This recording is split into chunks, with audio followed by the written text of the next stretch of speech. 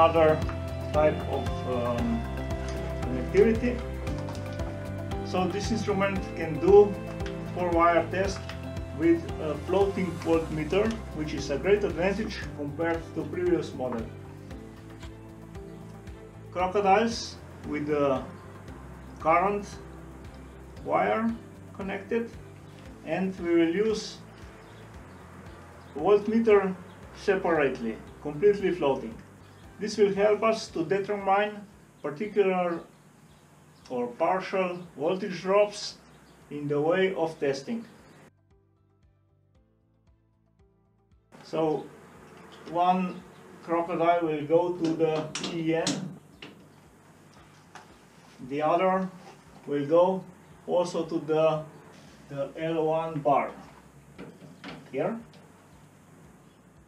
Okay, we are using crocodiles now to measure the voltage drop on the switch itself. So we can compare then phase 1, phase 2 and phase 3 in between and we can estimate or we can determine whether all the uh, connectors, all the contacts in the switch are still okay and we can do it live. We can do it during earthing operates, we can prepare ourselves for maintenance period to see which switch or which fuse holder need to be replaced. Okay, now we are in a safe distance and we will start the measurement of uh, this uh, to get the result of this particular switch.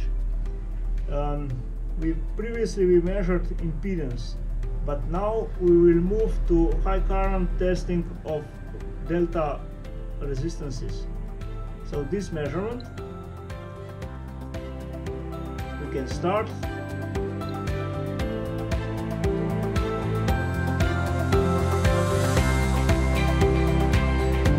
give us 0.5 milliohm of the resistance of the fuse holder or of the switch.